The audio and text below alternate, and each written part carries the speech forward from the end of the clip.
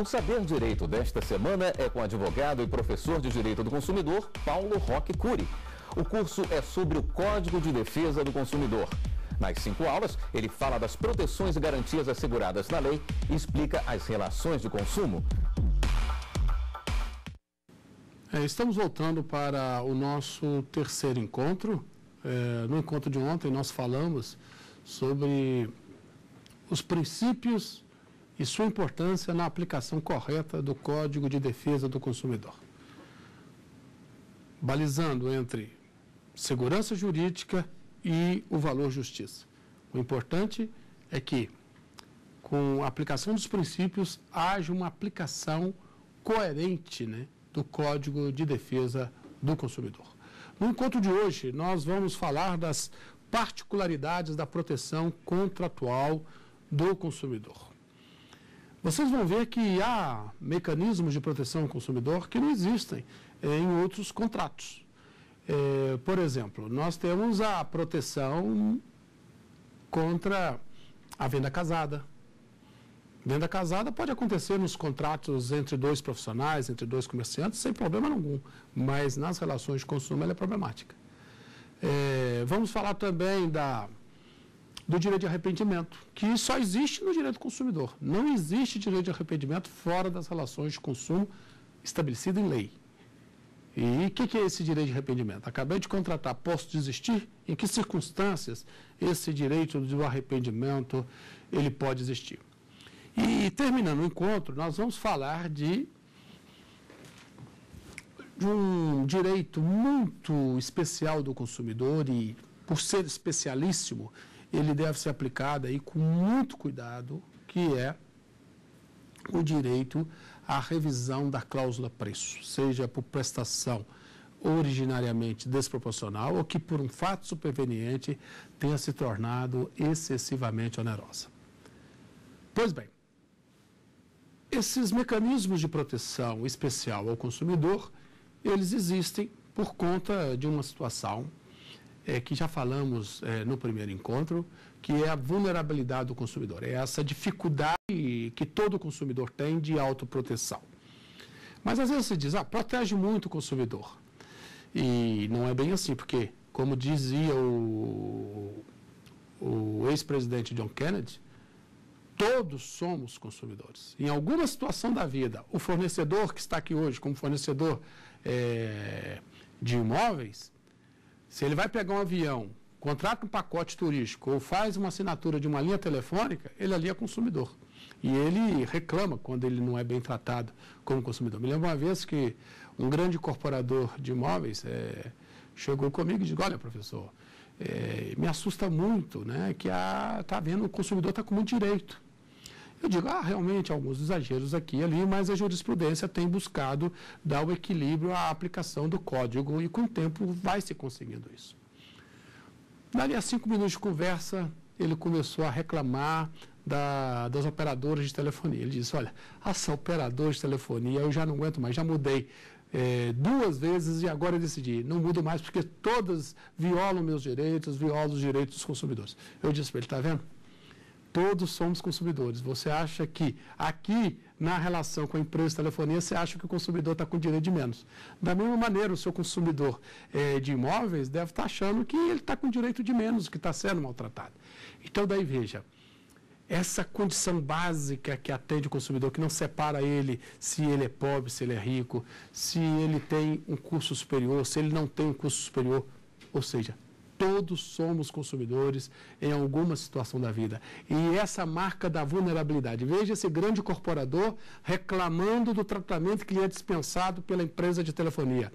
Ele está ali, embora economicamente seja poderoso, ali no caso pessoal, ele está ali da mesma maneira que um consumidor que não tem renda, que tem dez vezes menos renda que ele, que não tem o mesmo é, grau de instrução que ele ou seja, ele está na mesma condição de vulnerabilidade. É isso que vai é, radicalizar, entre aspas, a proteção a este consumidor, dando a ele esses institutos que, aplicados de maneira é, moderada, equilibrada, vão permitir uma aplicação racional e coerente eh, do Código de Defesa do Consumidor.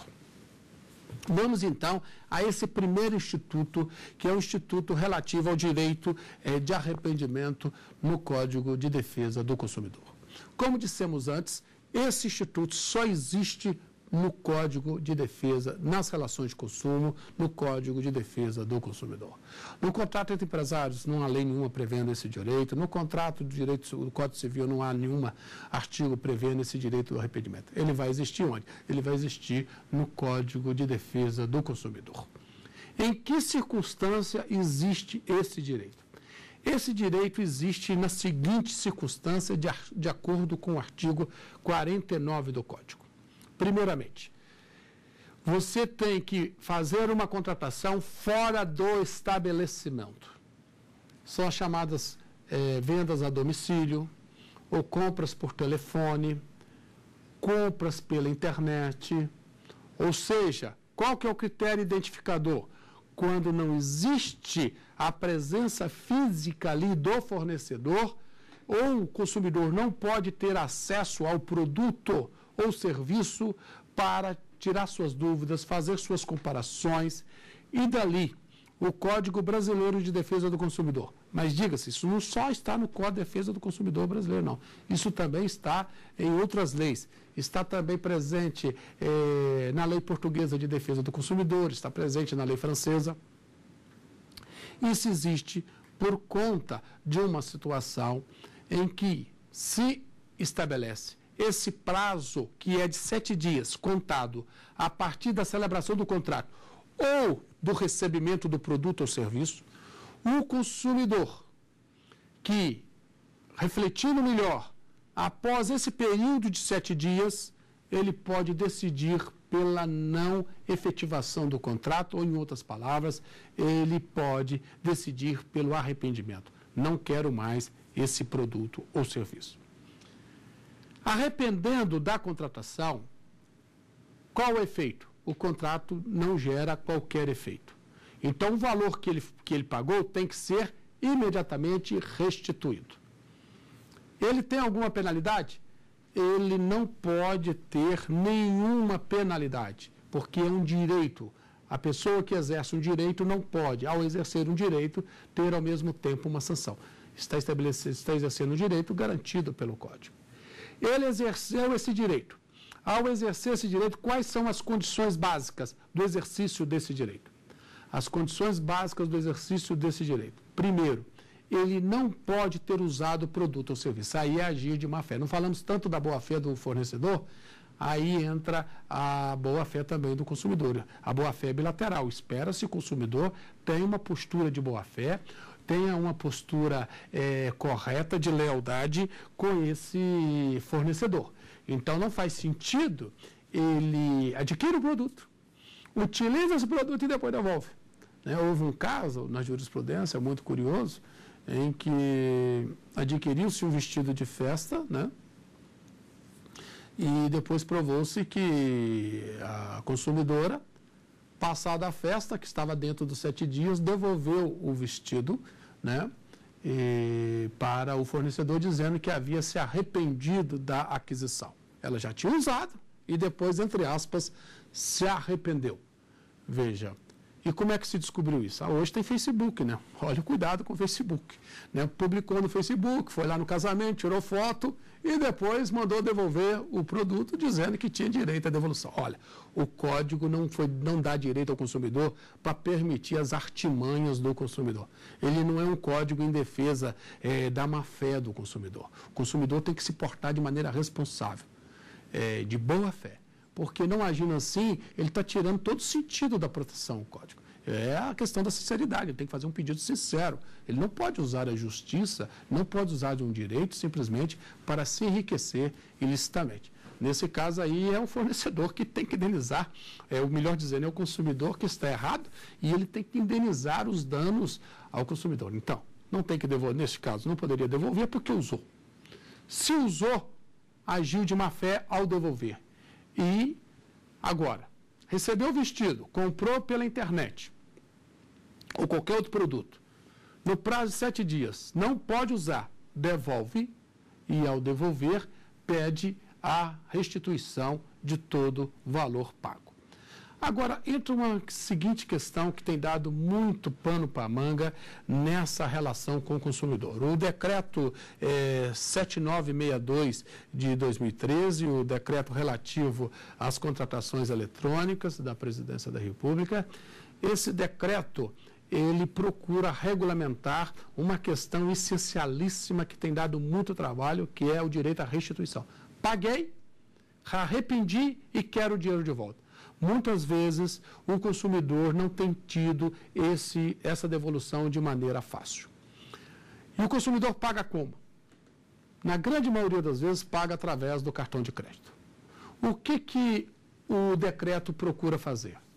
Ele diz que, nesse momento, o consumidor tem que é, informar ao fornecedor que está desistindo, que está se arrependendo, e imediatamente o fornecedor comunica à administradora do cartão de crédito para que se aquele valor já foi pago, estorne o valor.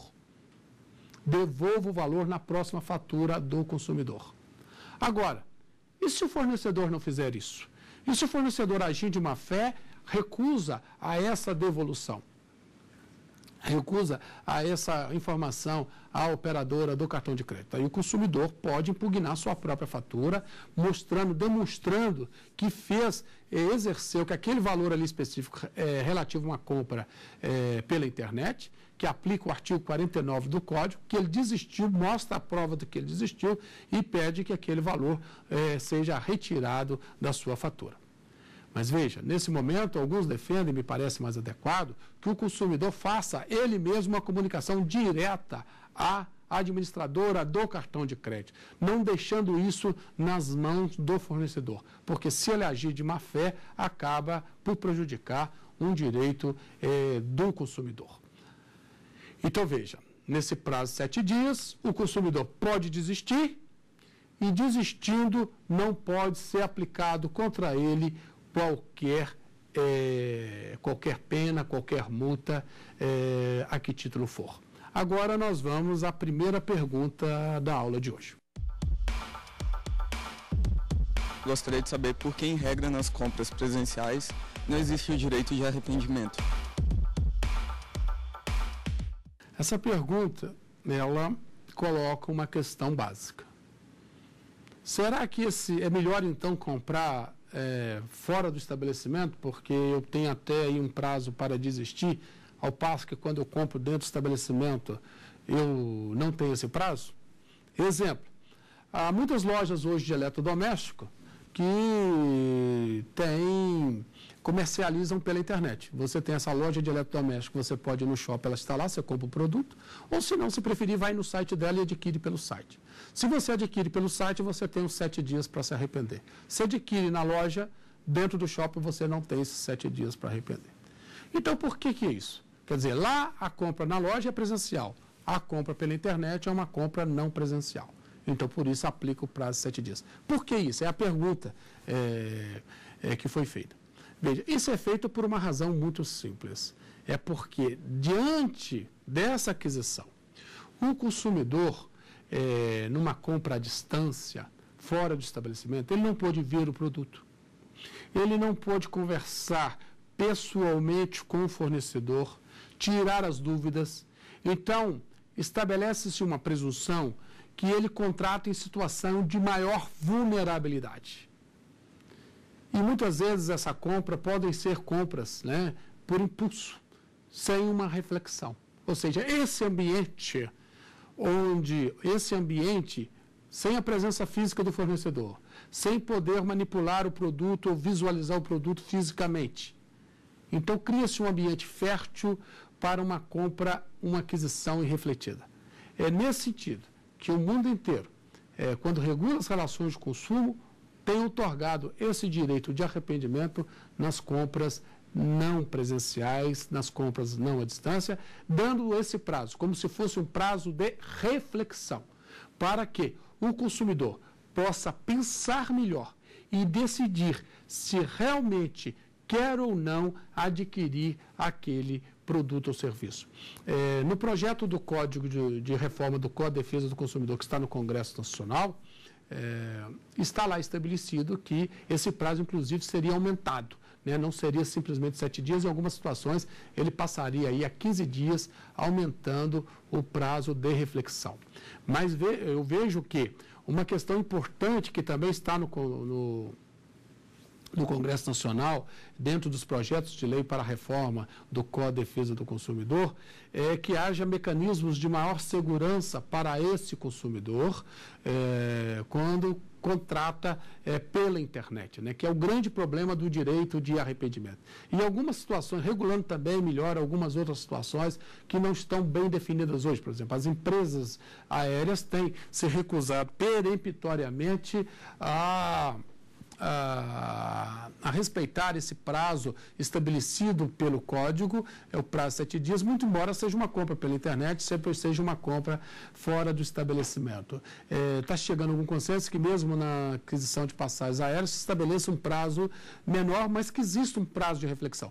E muitas vezes, observa, o próprio site erra no caso das passagens aéreas. Ele erra. Você faz um comando ali, você quer comprar passagem por um dia para um dia determinado, por algum motivo a data vem trocada e você não consegue fazer o caminho de volta para refazer aquela compra, quando percebe o erro. E o consumidor, se quer refazer, ah, não, o dia certo da viagem não era o dia 10, é o dia 12, o consumidor tem que acabar pagando uma multa pesada. Infelizmente, isso vem acontecendo muito. E o projeto que está no Congresso Nacional em tramitação procura corrigir esse tipo de situação, que seria um tipo de situação desfavorável. Outra situação, nessas compras à distância, né, essas compras pela internet, seria regular melhor o, e punir né, mais é, fortemente os maus fornecedores, que muitas vezes compra-se pela internet e não entrega, o produto já vem com defeito, e em cima disso acaba criando todo um transtorno é, na vida do consumidor. Agora, o outro ponto de proteção contratual ao consumidor é a chamada venda casada. O código estabelece a proibição é, de venda casada é, em tudo que, o, em toda a contratação, melhor dizendo, onde haja uma relação de consumo. O que é a venda casada? A venda casada é quando você condiciona a aquisição de um produto a outro serviço ou produto. Você diz, eu só vendo esse produto se você ao mesmo tempo me adquirir esse outro produto. Eu só vendo para você é, o eletrodoméstico X se você também adquirir o eletrodoméstico Y. Eu só vendo para você o eletrodoméstico X se você adquirir a garantia estendida dele. Ou no mútuo bancário, no contratação bancária, é, só celebra esse empréstimo se você adquirir um seguro de vida ou se você é, transferir todas as suas aplicações financeiras de outro banco para esse banco. Veja, como dissemos anteriormente, a venda casada é instituto sui generis, né, muito próprio do Código de Defesa do Consumidor. E esse tipo de operação existe muito no chamado empurrar, né? O consumidor está ali e tenta o fornecedor empurrar outros produtos e serviços para a aquisição desse consumidor. Veja, isso é abusivo, isso é vedado pelo código, isso não é tolerado. E realmente é, é uma prática que acaba viabilizando é, uma vantagem indevida do fornecedor. Agora, vamos aqui, importante, a próxima pergunta que eu vou esclarecer outros pontos importantes da venda casada. Gostaria de saber se uma loja que só vende o aparelho celular, se for também adquirida linha telefônica, se isso é venda casada. Se a condição é essa, nós estamos aí diante de uma situação clara de venda casada. A loja só vende a linha tele, o aparelho celular se for adquirido junto o serviço da linha telefônica. Veja, ah, mas há lojas que vendem assim. Bom, elas podem vender também assim, mas não só assim. Entenderam? Exemplificando. É, melhor, deixando mais claro. Aquele mesmo produto que ela vende numa espécie de combo, a linha telefônica com o, a, o telefone celular, ela só ela pode vender em conjunto e mas é obrigado também que venda autonomamente. Então, se a pessoa quiser adquirir só a linha telefônica, vai adquirir só a linha telefônica. Se ela querer, quiser adquirir só o aparelho celular, pode ser vendido só o aparelho celular. Mas vai dizer, mas tem só o aparelho celular para vender, mas o aparelho celular junto com a linha, é, sem a linha não fica tão atrativo. O atrativo seria adquirir os dois conjuntamente. Bom, aí, neste caso, já entrou uma situação de mercado. Não pode se dizer que só vende ali se for venda casada celular com linha telefônica. Se o consumidor quiser adquirir de forma autônoma, separada cada um daqueles produtos e serviços, ele vai ter. Bom, o consumidor vem e diz, ó, muito bom, professor, mas olha, a linha telefônica sozinha está a 3 mil reais. O aparelho celular sozinho está a 3 mil reais. Se eu for adquirir a linha telefônica mais o aparelho, eu vou pagar R$ 3.400. Então, vale mais a pena adquirir os dois conjuntamente. Aí é uma situação para que as autoridades de defesa do consumidor é, avaliem, na fiscalização tão importante, se esse, essa situação é, de prática do fornecedor está ou não é, violando um direito básico do consumidor porque ele sabe que é proibida a venda casada, ele ofereceria aí apenas pro forma a venda autônoma é, do, da, da, linha celular com o próprio é, aparelho celular. Se é feito de uma forma a inviabilizar a compra separada totalmente, e está ali apenas, entre aspas, para inglês ver, isso é abusivo e pode, na verdade, configurar venda casada, porque é apenas a venda casada que é celebrada nesse estabelecimento. Como dissemos no início, é, é, é, muito importante avaliar cada elemento para ver se existe ou não abusividade. Não pode simplesmente dizendo que há abusividade por conta disso, mas observar a regra de mercado, como é que está sendo praticado o preço naquele momento, como é que é feita a abordagem do consumidor nesse momento. Se, se uh, a linha celular é vendida de forma separada do próprio aparelho, e os preços ali, embora diferentes do preço do mercado, não seja nada ali, esses preços não sejam assim abusivos, é, estratosféricos, que simplesmente inviabilize qualquer comercialização separada, não haveria por que dizer que nós estamos aí diante de uma prática abusiva. É uma opção do fornecedor, ele está colocando isso de uma forma é, bem clara no mercado e está assumindo os riscos, inclusive quer conceder ao consumidor vantagens para a aquisição também da linha celular. Isso pode? Pode, desde que feito de forma clara, sem buscar eh, subterfúgios para prejudicar eh, os sagrados interesses do consumidor. Pois bom, agora nós temos um terceiro instituto importantíssimo que nós temos ele também aplicado nas relações civis, nas relações entre empresários e é, entre empresários, na relação entre dois particulares, mas é nas relações de consumo que esse instituto chama mais atenção. Sobretudo nesses momentos que estamos vivendo de grave crise econômica, é possível que esse instituto volte a ser tão acionado como foi no passado. Estamos falando da, do Instituto da Revisão da Cláusula Preço. O Código de Defesa do Consumidor estabelece, no artigo 6, inciso 5, a possibilidade da revisão da cláusula preço.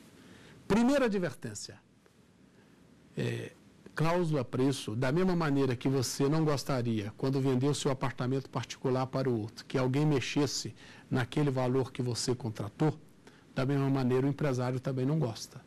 Ou seja, a cláusula preço, no regime de livre mercado, é o elemento essencial. É uma cláusula muito, entre aspas, sagrada do regime de livre mercado.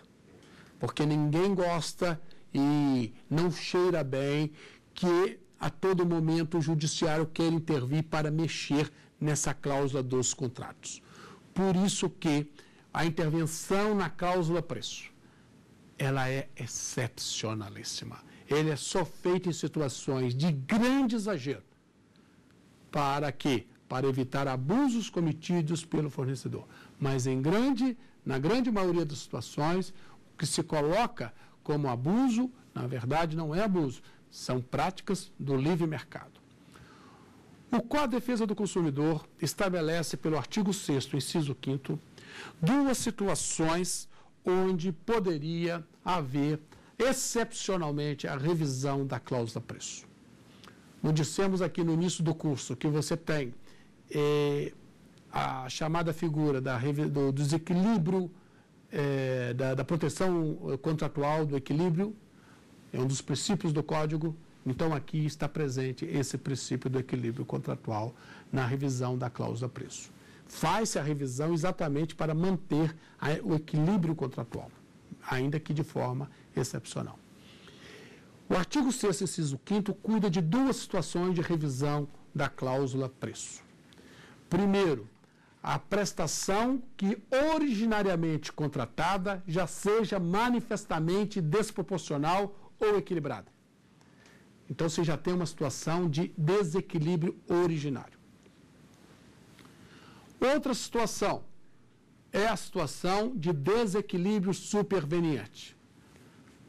O contrato foi celebrado inicialmente com cláusulas equilibradas, com a cláusula preço bem equilibrada, preço justo, mas com a evolução do contrato, com a execução do contrato, esse contrato foi atingido por um fato superveniente alheio à vontade do consumidor e esse fato superveniente torna o que antes era equilibrado em manifestamente desequilibrado.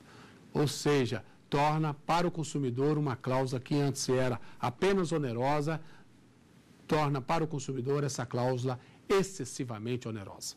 Então, nessa circunstância, o COTA está dizendo que o, a cláusula preço pode ser modificada.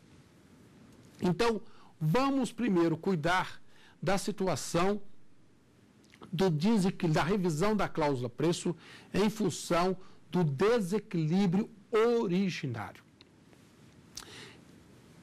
O contrato foi celebrado, mas já há um desequilíbrio flagrante nessa cláusula preço.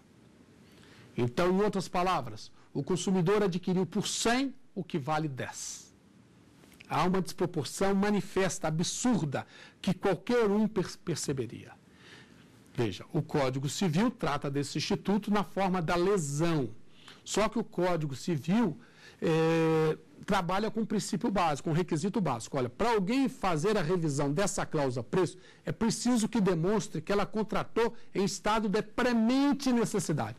Ou seja, ela só comprou por, vendeu por 100 o que vale mil, porque estava em situação de premente necessidade, em situação de dificuldade, de grave dificuldade econômica, e muitas vezes a outra parte já sabia desse grau de dificuldade e acabou celebrando ali um contrato leonino, prejudicando.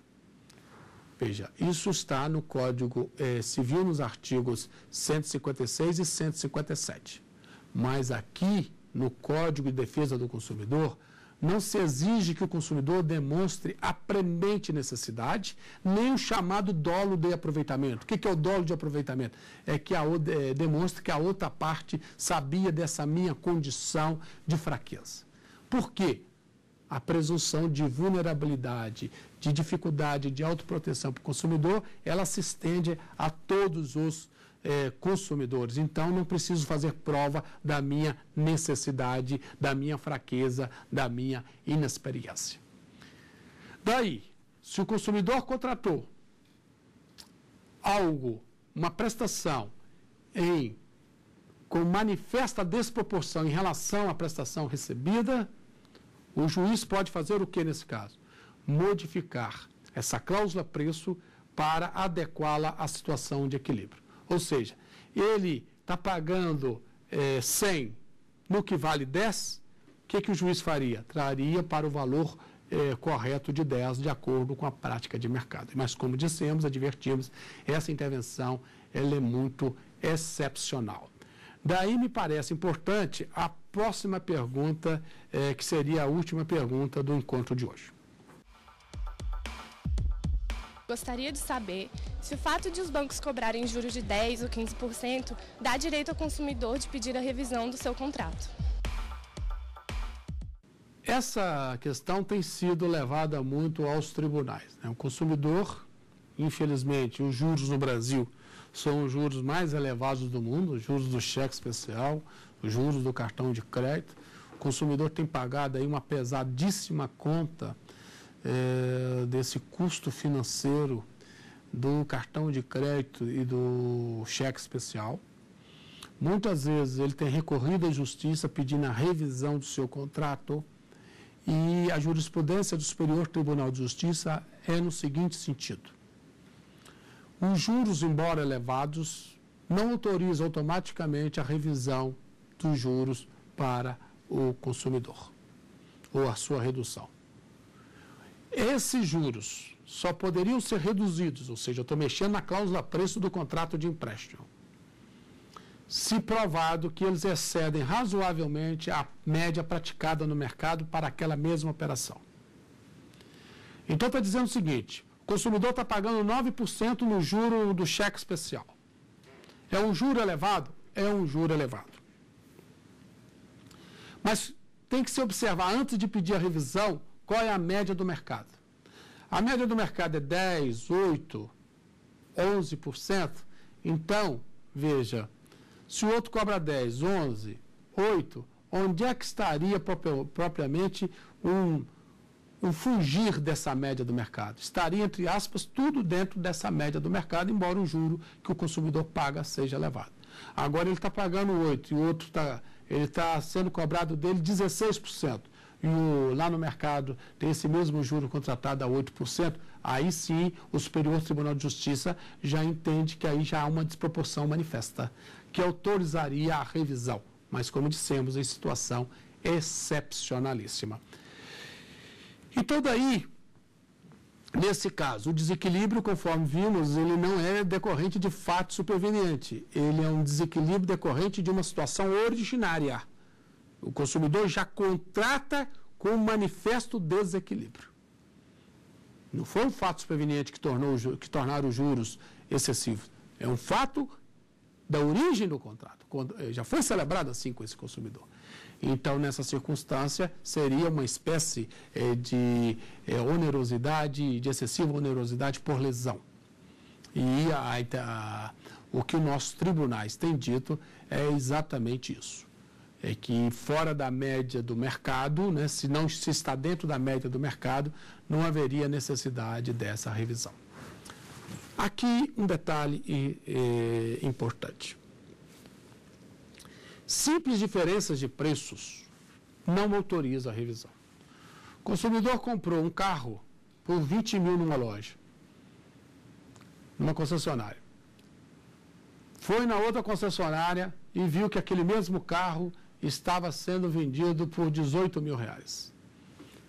São diferenças de preços próprias do regime de livre mercado e não, não autorizam essa simples diferença que um intérprete possa aplicar o artigo 6 inciso 5 para rever essa cláusula em benefício do consumidor.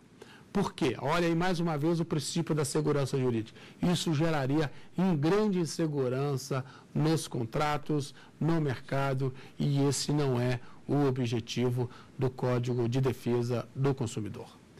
Simples eh, alterações de preço, simples eh, diferenças estão dentro do livre mercado, estão dentro daquele risco natural que todos assumimos ao contratar e muitas vezes você pode fazer uma contratação com diferença de preços, né, sabendo que ali o outro, o serviço que um está oferecendo por 10, o outro oferece por 8. E mesmo assim você contratar o 10 e não contratar o 8, o que está oferecendo a 8. Por quê? Aí é uma questão da sua autonomia. Você confia mais naquele que oferece a 10. Já teve de sabores com que oferece o serviço a 8. Então você está contratando também segurança. Nesse sentido, está dentro da sua esfera de autonomia, do seu direito patrimonial disponível, dizer se vai pagar mais caro ou mais barato. Por isso que não dá para o legislador ficar a todo tempo interferindo nesse contrato, né? porque geraria grande insegurança jurídica. Agora, quero chamar a atenção para a outra situação de proteção contratual, que também está dentro do artigo 6 inciso 5 que é a situação decorrente do desequilíbrio é superveniente. Então, a cláusula preço foi contratada inicialmente com equilíbrio, Mas um fato superveniente acaba tornando essa cláusula desequilibrada. Então, daí se coloca se seria direito ou não do consumidor a revisão dessa cláusula preço. Exemplo: o consumidor adquiriu um imóvel aqui é, perto da sua casa e o imóvel estava sendo vendido a 10 mil reais o um metro quadrado. Agora, com a baixa dos imóveis do, do mercado, esse mesmo imóvel está sendo comercializado aí a 9 mil reais o metro quadrado, a 8 mil reais o metro quadrado. Pergunto, o consumidor poderia fazer a revisão do seu contrato porque houve esse contrato para ele hoje está mais oneroso que no passado? Mas também a situação inversa que não pode ser esquecida. É, o consumidor pode ter comprado o imóvel a 8 mil reais e ele está valendo 10 mil reais. E isso autorizaria que o fornecedor fizesse a revisão do contrato? Veja, oscilações na cláusula preço estão dentro do regime do livre mercado. E é risco essa alteração, essa oscilação, é risco que o contratante assume num contrato, sobretudo de duração. E não poderia, é, nesse caso, se utilizar do artigo 6, inciso 5, para fazer a revisão. É certo que o legislador, no artigo 5, 6, inciso 5, ele não exige, como exige o nosso Código Civil, no artigo 478, que essa essa mudança na cláusula preço por fato superveniente, que altere o equilíbrio do contrato, seja decorrente de um fato imprevisível. Como o consumidor é um leigo, admite-se até que o fato possa ser previsível. Mas desde que não tendo influência nenhuma do consumidor, é, desequilibre sig significativamente o contrato, ou, em outras palavras, gere uma onerosidade excessiva. Nesse contexto, o, o fato é, de haver uma simples variação, né, não autoriza, como dissemos, uma revisão, porque está coberto pelo risco próprio da contratação e o consumidor, é bom que se diga, quando contrata, ele também assume riscos. E riscos quanto a maior ou menor utilização daquele bem, a maior ou menor valorização. Todos os contratantes não estão no mercados infensos a riscos. Aliás, todos corremos riscos quando contratamos. Agora, então, o que, que é essa onerosidade que autoriza a revisão do contrato? Essa maior onerosidade, ela não é qualquer onerosidade, isso é bom que se diga. Tem que ser, né, pelo princípio do código, dentro do sistema que aqui falamos, de todas as cautelas que se busca dar ao consumidor de ordenamento, tem que ser uma onerosidade excessiva. O acento deve estar no excessivo não uma maior dificuldade do consumidor ao simplesmente ao cumprir o contrato, de cumprir o contrato. Não pode ser qualquer dificuldade. Tem que ser uma extrema dificuldade geradora de uma onerosidade excessiva. Aí pergunta: que situação seria essa?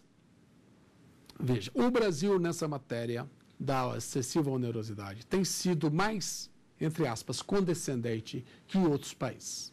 É, ao fazer um estudo recente sobre a revisão dos contratos, né, e essa, inclusive, foi minha tese de mestrado na Universidade de Lisboa, a revisão judicial dos contratos no Código Civil e no Código de Defesa do Consumidor. Tem até um livro próprio é, sobre essa tese que depois eu vou disponibilizar para vocês é, na bibliografia. O que foi é, percebido é que o mundo, a Europa sobretudo, ela é muito conservadora quando se fala em revisão da cláusula preço pelo fato superveniente, inclusive em relação de consumo. Exige-se que essa majoração ou a redução do preço seja extremamente drástica, não seja uma alteração qualquer. Então, há caso de desvalorização é, do produto ou serviço em até 200%, né? Ou majoração é, em até 200%, e mesmo assim os tribunais europeus não autorizaram a aplicação da revisão é, da cláusula preço em função do fato superveniente, é, sustentando, sustentando essa, essa manutenção da cláusula preço, sobretudo na questão relativa à assunção de riscos do contrato, ou seja, quem contrata assume risco e se isso era previsível, na verdade, é, isso é risco próprio do contrato. Se ele quisesse se contrapor e se salvaguardar contra uma situação futura, ele teria deixado isso melhor regulado no contrato e não competiria ao intérprete, ao magistrado, mexer nessa cláusula preço. Entretanto, no Brasil, o que tem se verificado, é, sobretudo nas relações de consumo, é uma certa flexibilidade, uma certa é, liber, é, maior liberdade do intérprete é, na, na revisão dessa cláusula preço. E nós temos um lead case muito é, apropriado para essa situação, que foi quando o Brasil se deparou com a max desvalorização do real em 1998 onde os consumidores sofreram muito com essa max desvalorização. E daí muitos consumidores haviam adquirido eh, o financiamento de veículos né, pelo sistema de leasing. O leasing, eh, a grosso modo, é uma locação. Você, ao invés de comprar, você loca um veículo, mas com opção de compra no final. No final, você decide comprar. Né, e utiliza todas aquelas prestações que você pagou para bater no preço da aquisição final do veículo.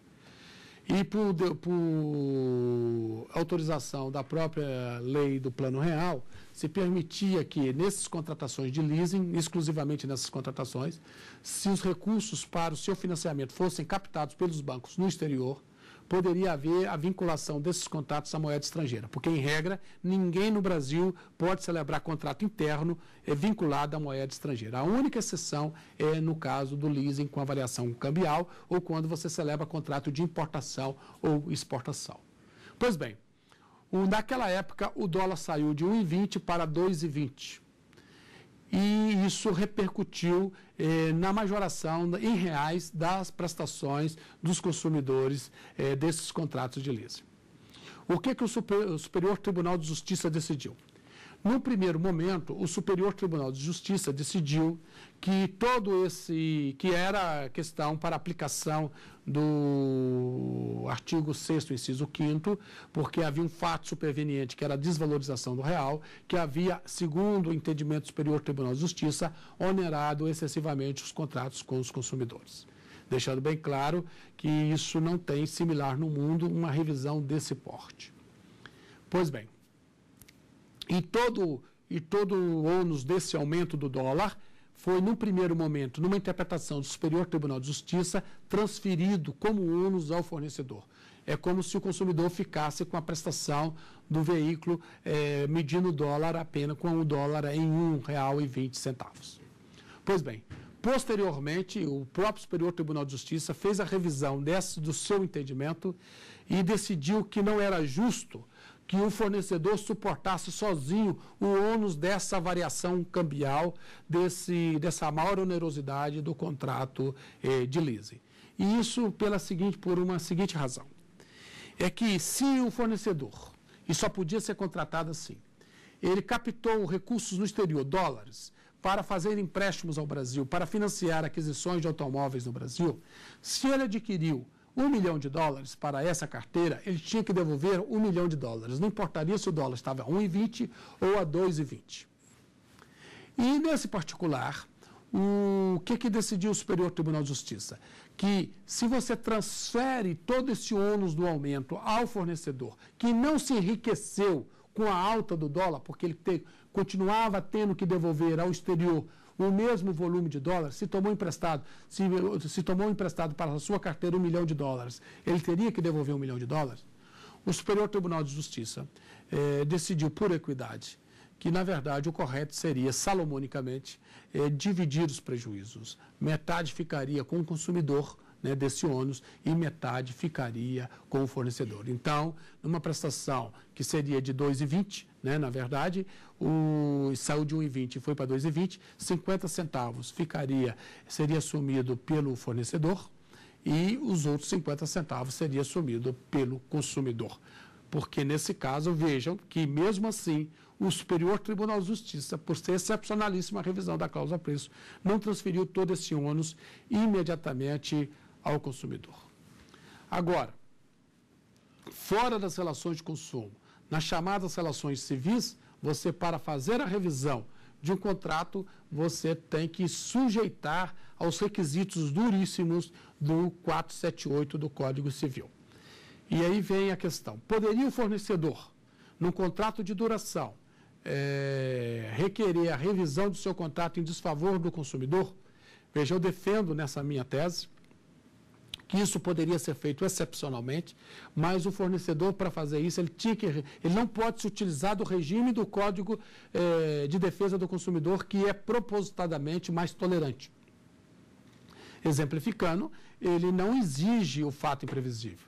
Ele teria que recorrer a quê? Ele teria que recorrer ao Código Civil, 478, demonstrando que o fato é imprevisível, que pegou a ele como fornecedor, como profissional, o pegou de surpresa, que aquele fato gerou uma onerosidade, uma excessiva onerosidade, e está gerando ao mesmo tempo um grande lucro, uma grande vantagem ou uma extrema vantagem para o consumidor. Nesse contexto, o que se pode dizer é que aí esse sistema da revisão, ele não é exclusividade nem, entre aspas, privilégio do consumidor. Esse sistema da revisão, ele está hoje nos códigos modernos, está no Código Civil português, está no Código brasileiro, e esse sistema, ele, o que, que ele quer proteger? Ele quer proteger o contratante que numa situação de grande alteração do fato que presidiu a contratação, em outras palavras, em grande alteração das circunstâncias que geraram aquela contratação, fatos supervenientes totalmente imprevisíveis, que venham alterar esse contrato, permite-se, nesse caso, excepcionalmente, a revisão da cláusula preço para todo e qualquer contratante, a fim de evitar a sua absoluta ruína econômica. Agora, uma questão essencial é que esse fato não pode ser dependente da conduta do fornecedor, do, do, do consumidor, se o consumidor assim invoca ou do fornecedor, se o fornecedor assim invoca. Uma última questão, que me parece essencialíssima, é que tem que haver um nexo de causalidade com o objeto contratual. É evidente que o consumidor, quando perde o emprego, ele passa a ter mais dificuldade para honrar as prestações do seu contrato. Mas isso não autoriza que este consumidor possa pedir a revisão do contrato. Por quê? O equilíbrio do contrato não se avalia a partir da condição econômica ou da capacidade econômica das partes. O equilíbrio do contrato se avalia a partir do custo do objeto contratual. Se o objeto contratual foi contratado a 100, continua valendo 100 no mercado, não é irrelevante se aquele que se comprometeu a fornecê-lo ou a recebê-lo esteja hoje em menor condição financeira, em situação financeira é, de maior dificuldade para honrar esse objeto ou para realizar a conta prestação. Porque aí, objetivamente falando, em torno do objeto, não estará havendo nenhum enriquecimento de qualquer das partes.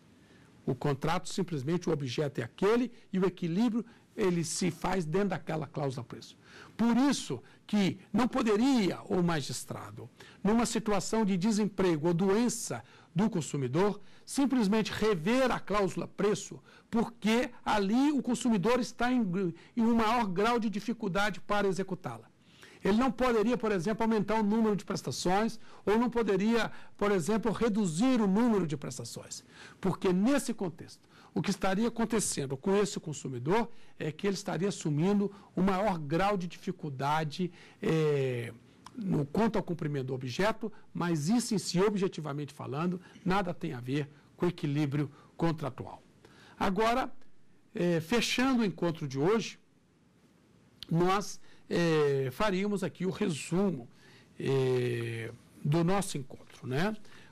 Falamos da, da questão relativa à cláusula preço, né, dessa, desse grande grau de intervenção do magistrado que existe na cláusula preço e sabendo da excepcionalidade eh, dessa intervenção. Temos institutos eh, muito próprios que só são do direito do consumo, sobretudo o Instituto do Direito de Arrependimento, o instituto relativo à venda casada. Eles existem, sobretudo, em face do grau de vulnerabilidade do consumidor.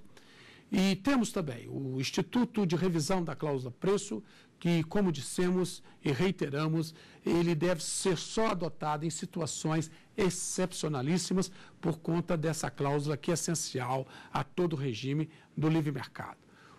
Qualquer variação de preço não é suficiente para é, autorizar a revisão, seja por um desequilíbrio originário, seja por um desequilíbrio superveniente. Agora, em qualquer circunstância, o importante é que, em qualquer contratação, o fornecedor não descuide de um direito básico do consumidor nessas contratações, de alertá-los claramente para os riscos, para os riscos que essas contratações estão sujeitas. Inclusive, numa contratação de grande duração, é extremamente conveniente que o fornecedor alerte ao consumidor sobre os riscos, inclusive, de desvalorização é, do objeto que ele está contratando, da, que aquele objeto, aquele imóvel que ele está adquirindo, tanto pode aumentar o seu valor no mercado e ele aí seria beneficiado, como pode reduzir seu valor no mercado e ele estaria aí, entre aspas, prejudicados. Voltaremos então amanhã com a nossa quarta aula. Muito obrigado. Tem dúvidas sobre o assunto? Então mande e-mail para saberdireito@stf.jus.br. Você também pode estudar pela internet acessando o site tvjustiça.jus.br.